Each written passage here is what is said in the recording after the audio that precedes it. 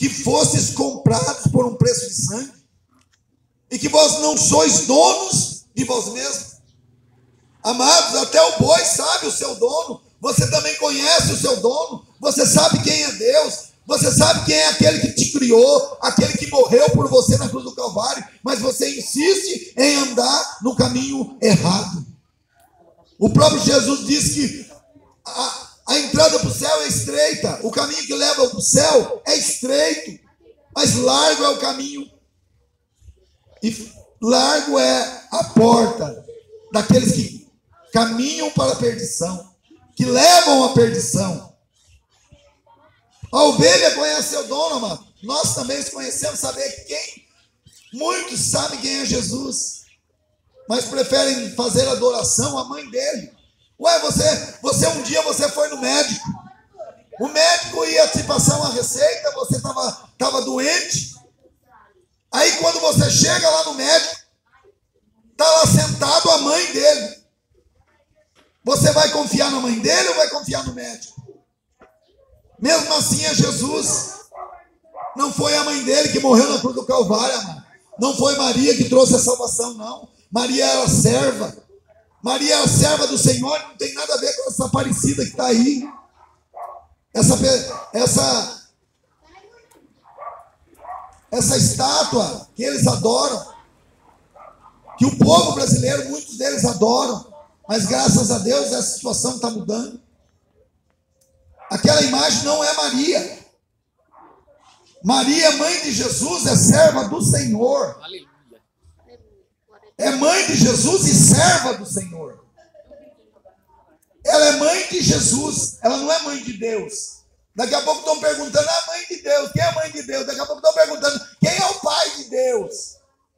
Meu irmão, não existe mãe de Deus, existe mãe de Jesus. Jesus que nasceu, se, to se tornou carne, se fez homem, sofreu, morreu na cruz do Calvário, derramou seu próprio sangue lá na cruz do Calvário, fez um sacrifício eterno, porque o sacerdote entrava de ano em ano para fazer o sacrifício. E o pecado era tão grande em Israel que eles até amarraram, amarravam uma corda na costa do sacerdote, que se ele caísse e as sinetas tocasse, era sinal que ele tinha morrido porque ele estava em pecado, então ele morria diante da arca. Mas Jesus Cristo, Filho do Deus vivo, ele adentrou no Santo de Santo somente uma vez, para fazer um sacrifício eterno e único.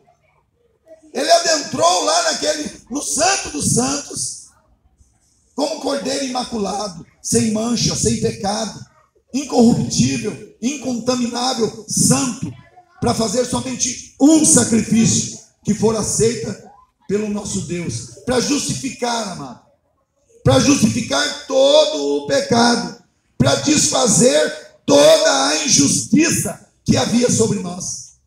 Somente Ele, amado, é digno de adoração.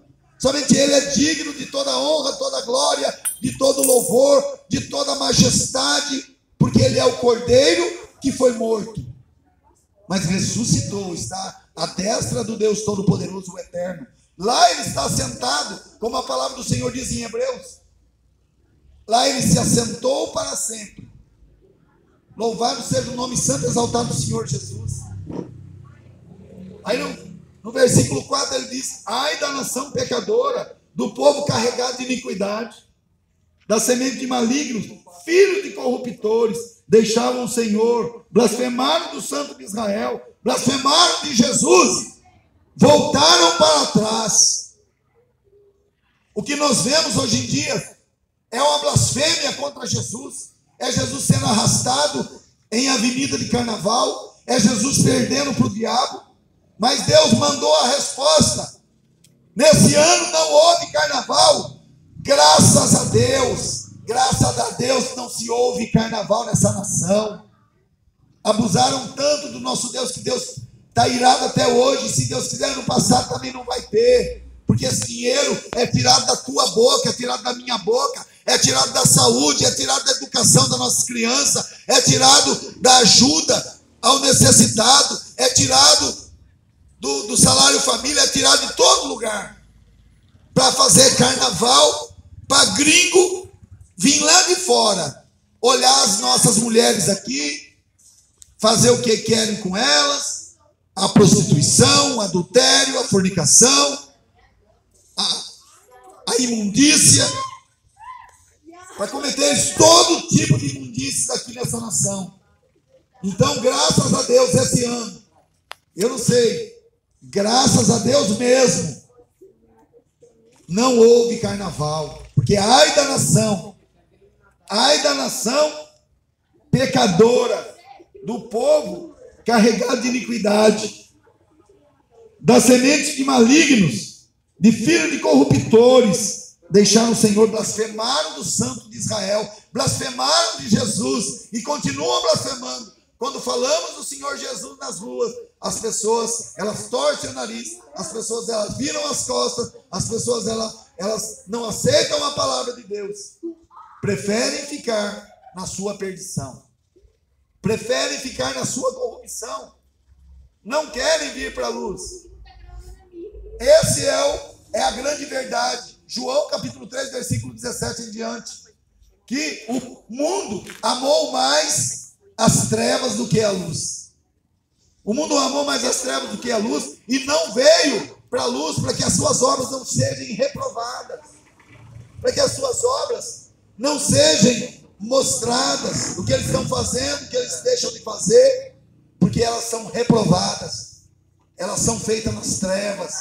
E se eles aceitarem Jesus, as trevas vai ter que sair e a luz vai ter que entrar na vida dessas pessoas. É por isso que eles não aceitam Jesus. Mas essa tarde nós estamos aqui, amado, para falar para você que Jesus ele é tardio em irar, ele é benigno, ele é longânimo, ele perdoa os nossos pecados e nos conduz à vida eterna, a caminhos eternos, nos conduz ao rio da vida. É isso que nessa tarde nós queremos dizer para você, amado. Que o nosso Jesus, ele é o caminho, a verdade e a vida. Ninguém vem ao Pai senão por ti. Ninguém vem ao Pai senão por Jesus. Não adianta as pessoas falarem, ah, mas aquele povo lá, que é descendente, que é filho de Abraão, se eles não aceitar Jesus, amado. Se eles não aceitarem Jesus como seu único e suficiente Salvador e Senhor da vida deles, vão perecer no inferno também. O próprio Jesus disse isso, pregando aos seus discípulos, ele pegou e disse: O que, que vocês têm a ideia? Que o sangue dos galileus que morreram e foram misturados com o sacrifício de Pilatos, eles valem alguma coisa? Sim, eles têm mais alguma importância que os outros? Falou: Não. Não tem, não. Se eles não se arrependeram, eles pereceram. E vocês também, se não se arrependerem, da mesma forma perecereis.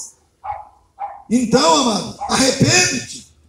Busca Jesus e se arrepende do pecado. Peça perdão ao seu irmão. Ame o seu irmão verdadeiramente. Se for preciso falar a verdade, fale a verdade. Mas não passa a mão na cabeça do pecado, porque se a pessoa está indo para o inferno, porque você está passando a mão na cabeça dela e ela está pecando, vai ela e vai você também para o inferno. Uma porque pecou e a outra porque incitou a pessoa a cometer o pecado. Teve a vida usado pelo diabo para levar aquela pessoa para o inferno e ela vai junto também. Isso que quer dizer a palavra de Deus, amado. Ai da nação pecadora. Ai da nação pecadora. Louvado seja o nome santo e exaltado do Senhor Jesus. Louvado seja o Deus Todo-Poderoso. Louvado seja, Pai. Teu santo nome seja, seja glorificado. O teu santo nome seja louvado e bendito. Louvado e bendito por todas as nações.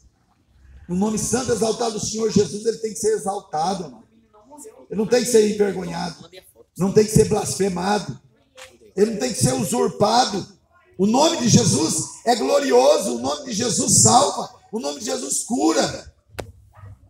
Não existe ambiente mais profético aonde Jesus é declarado. O nome do Senhor Jesus tem poder. O sangue do Senhor Jesus tem poder sobre a nossa vida e tem poder sobre a tua vida também para te lavar, para te remir, para perdoar os teus pecados como está escrito lá em João, capítulo 1, versículo 7. Se nós andarmos na luz, como Ele na luz está.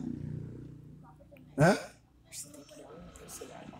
O sangue do Senhor Jesus nos cobre de todo o pecado. Louvado seja o nome de Jesus. Aleluia, Senhor. Louvado seja o Deus Todo-Poderoso.